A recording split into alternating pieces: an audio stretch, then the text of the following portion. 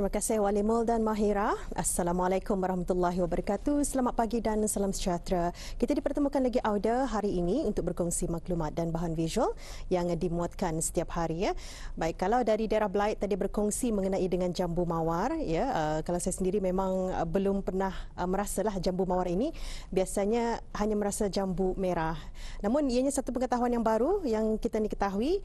Uh, tetapi sebelum itu juga uh, kita ni juga dari daerah Tutong akan berkongsi satu bahan visual. Apa kata kita ni uh, jalan-jalan uh, sambil menikmati jambu uh, dengan menyelusuri Sungai Tutong. Kita saksikan bahan visual untuk pagi ini.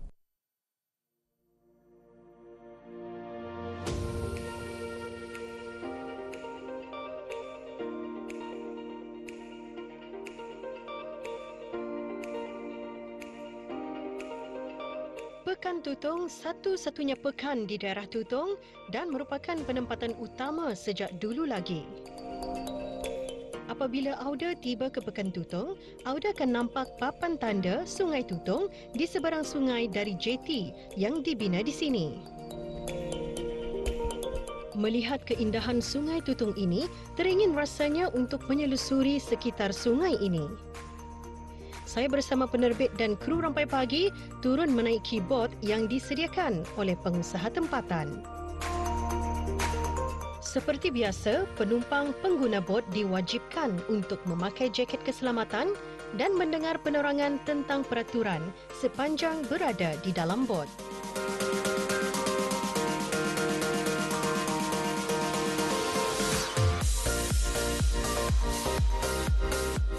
Setelah menaiki bot, kami memohon keselamatan dan perlindungan kepada Allah Subhanahu Wa Taala agar dilancarkan urusan.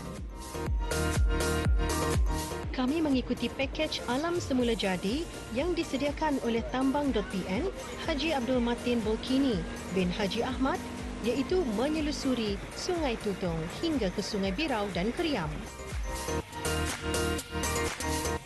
Mengikut cerita, perkampungan awal Puak Tutung di Sungai Tutung tertumpu di sepanjang sungai ini dengan mendirikan rumah-rumah panjang di atas air, iaitu cara hidup yang mereka amalkan sejak sekian lama. Ada dua faktor utama mengapa mereka mendirikan rumah di atas air. Pertama, untuk keselamatan daripada ancaman musuh yang datang dari darat dan kedua, untuk kemudahan perhubungan dan kegiatan ekonomi. Tempat terawal yang menjadi tempat kediaman mereka ialah di Kuala Sungai Kampung Suran yang akhirnya digelar Sungai Tutong. Dari sana mereka berpecah kepada beberapa kumpulan dengan membina penempatan secara berasingan di sekitar Sungai Tutong. Di antara penempatan tersebut ialah Lurah Saban, Kuala Birau, Kelakas dan Pancor. Alhamdulillah ada. Kita ni sudah pun memasuki ke dalam uh, yang dipanggil Lurah Saban ya. Dan ada juga setengah orang uh, dahulu melagau tempat ini uh, dipanggil Sungai Rangit dan juga dan juga Sungai Kelakas. Kita ni akan menuju ke dalam menuju ke Sungai Kelakas. Dan alhamdulillah banyak uh, yang dapat kita ni lihat sini. Memang in, keindahan kehijauan dapat kita ni rasakan. Uh, banyaknya uh, pohon-pohon nipah ya. Dan uh, yang pasti juga uh, tempat ini uh, menjadi satu tarikan lah khususnya kepada peminat-peminat pancing dan uh, Auda kali ini kita ni dapat mengikuti perahu uh, menerusi tambang.bn dengan pakej alam semula jadi. Melalui sungai ini, apa yang menarik perhatian kami ialah pohon-pohon nipah menutupi bahagian atas laluan dengan semula jadinya.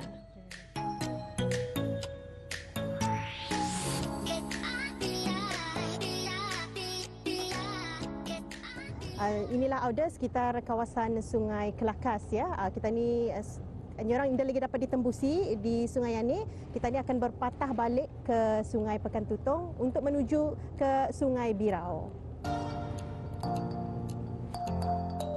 Setelah keluar dari Lurah Saban menuju ke Pekan, di sebelah kiri Auda akan lihat dua cabang sungai untuk menuju ke Sungai Keriam dan Sungai Birau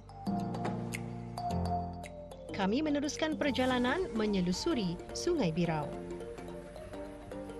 Waktu penggambaran ini ialah di sebelah pagi. Tetapi kalau menyelusuri di sebelah petang, sekitar jam 5, awan kelihatan lebih indah dan haiwan-haiwan seperti monyet, bermacam jenis burung dan banyak lagi akan dapat kita lihat di pohon-pohon persekitaran. Alhamdulillah dari Sungai Tutong menuju ke Sungai Birau kira-kira 45 minit kita ni dalam perjalanan menuju kemari. Uh, sudah pun sampai ke Sungai Birau. Keindahannya memang uh, cukup uh, ketaralah dapat kita ni lihat. Ni orang bersih dan uh, kawasannya memang semula jadi.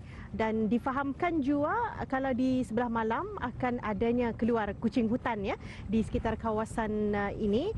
Dan di sini selain daripada burung-burung kita juga dapat melihat uh, kerbau ya memang uh, sejumlah kerbau ada berada di sini di kawasan lapang di Sungai Birau ini Di Sungai Kuala Birau ini, Auda akan lihat kerbau-kerbau peliharaan penduduk kampung berdekatan. Sepanjang melalui sungai memang dilihat bersih tanpa ada sampah sarap yang mengotori keindahan dan kita dapat menghirup udara yang segar. Burung-burung pun ikut berterbangan mengikuti laluan kami. Setelah melihat apa yang ada di Sungai Birau, kami berpatah semula ke Pekan untuk memasuki cabang sungai yang satu lagi iaitu laluan Sungai Pancur Papan, Pancur Dulit dan Keriam. Adanya sejumlah rumah penduduk dibina berdekatan dengan tebing dan ada yang membina pondok dan pantaran. Lama tinggal di daerah Tutong bukan bererti kita sudah menyaksikan keseluruhan tempat di daerah ini. Inilah pengalaman pertama kami melihat sebahagian persekitaran Sungai Tutong. Sehinggalah kami sampai ke jembatan Kampung Keriam.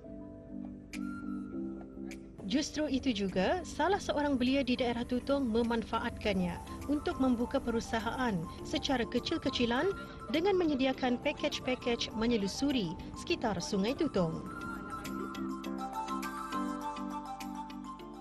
Alhamdulillah kami masa ni ada empat package. Uh-huh. Itu package pulau, uh, package alam semula jadi memancing sama community.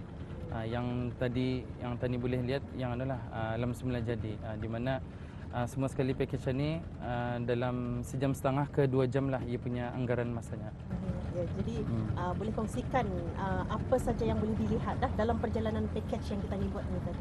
Uh, kalau sekiranya dari package alam semula jadi, uh, kalau uh, tadi boleh melihat anu uh, apa ni keindahan alam yang Allah ciptakan itu uh, supaya uh, kan tani sibuk bekerja apa uh, sehari-hari ya. Lepas tu kalau sekiranya kan lari dari anu tu dari kerja tu uh, bolehlah uh, mengikuti tambang.bn uh, supaya uh, merehatkan mata tu uh, melihat pemandangan uh, supaya anu lah uh, back to nature. Uh, kami punya servis ni uh, anytime yang kita berlaku uh, pagi, petang atau malam uh, kita kontak saja uh, arah kami punya no uh, number kami atau Instagram kami iaitu tambang.bn. Uh, mostly kami punya no lah uh, yang dari customer kami uh, mostlynya jam pukul 5 ke 7. Uh, so pasal masa tu masa sunset uh, matahari itu anu lah uh, ia warna awan itu warna pink, biru, kuning apa. So, kalau kalau bergambar lawalah terus. Uh, air itu macam ada reflection colors. Uh, Alhamdulillah dari Tambang BN ini kami ada jual uh, mempromosikan cerita-cerita uh, sejarah Tutong uh, macam uh, si unta, si tutong dan ikan yu uh, itu di antaranya lah uh, kami dapat dari proses sejarah kami kumpulkan dan kami ceritakan supaya indah ketinggalan zaman lah cerita ni. Masih banyak tempat yang boleh kita selusuri melalui Sungai Tutong ini dan yang mempunyai legenda atau cerita rakyatnya tersendiri. Sudah ramai yang menggunakan perkhidmatan ini dan menangkap gambar sebagai simpanan kenangan.